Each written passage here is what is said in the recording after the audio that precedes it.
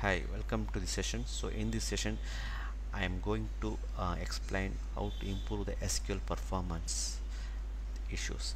Normally if you are doing any program you will encounter this kind of an issue. Sometimes when you are um, accessing any query from website um, from web web application or in any Windows application you encounter this kind of an, uh, performance issue so it, so for that I am going to cover the basic SQL performance steps that we need to check to improve the query performance. So in I plan to uh, release a multiple you know videos for this uh, SQL performance. So in this video I am going to cover the basic things about the SQL performance. So with that maybe we can move on to the next slide okay uh, when it comes to SQL performance we have to consider uh, these multiple things. These are the main things that we need to focus. First one is you know, hardware tuning uh, and second is database tuning and third one is SQL tuning. So when it comes to hardware hardware is play a main role in, in, in an SQL server because you need enough memory to process the data you need enough uh, storage to process data. So these all things it comes under the hardware tuning the hardware performance is tuning is the improvement of system performance. Typically I'm talking about a computer system.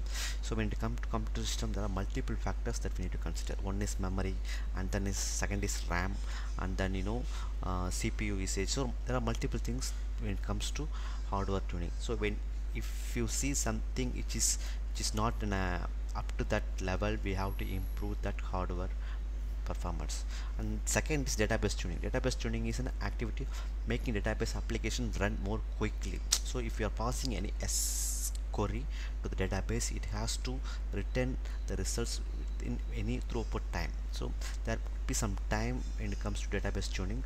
Uh, we will talk more about this kind of you know where what are the factors that we need to consider when it comes to database tuning and then third one is you know SQL query tuning. Uh, is the process of ensuring the statements that an application will issue will run fast as possible.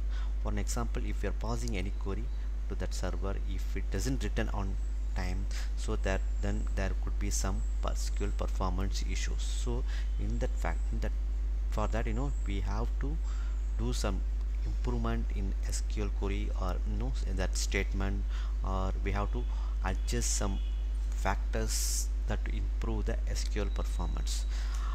The next slide I move on to next slide. So what is this, this is the SQL performance streaming you see now we are send a client send a request send a request to the serv uh, server.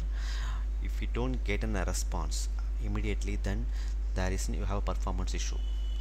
So which means we have to do some performance tuning to improve that um, speed.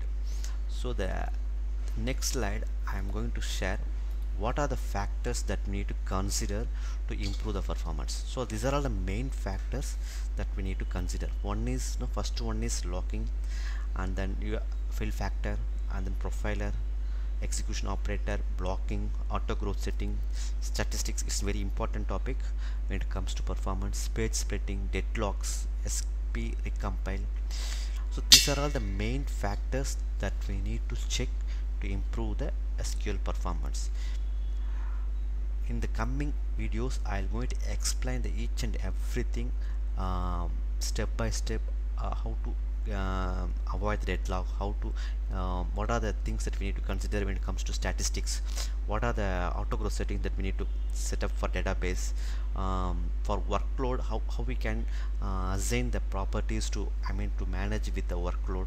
So these are all the main things when we are creating a database or if we are installing a SQL query what are the factors that we need to consider when we install the SQL when you create a database uh, when you're creating a table or when you're creating any index? So these are all the main factors which will affect the performance. So in coming session I will uh, explain and, and, each and everything in detail. I hope uh, it will be very useful. So don't please if you don't subscribe this channel please subscribe um, I'll see you in the next video. Thank you. Bye bye